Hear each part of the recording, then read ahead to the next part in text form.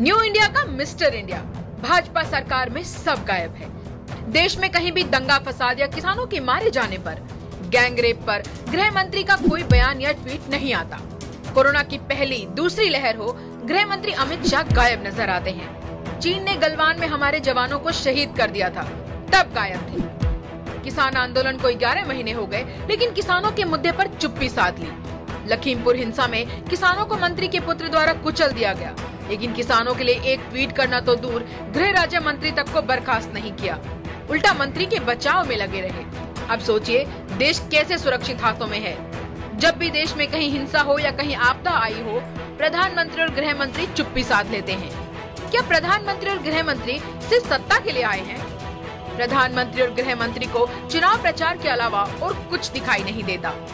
क्या इसे सिर्फ़ विधायक खरीदने के लिए और चुनाव चुनाव खेलने के लिए मंत्री बनाया गया है?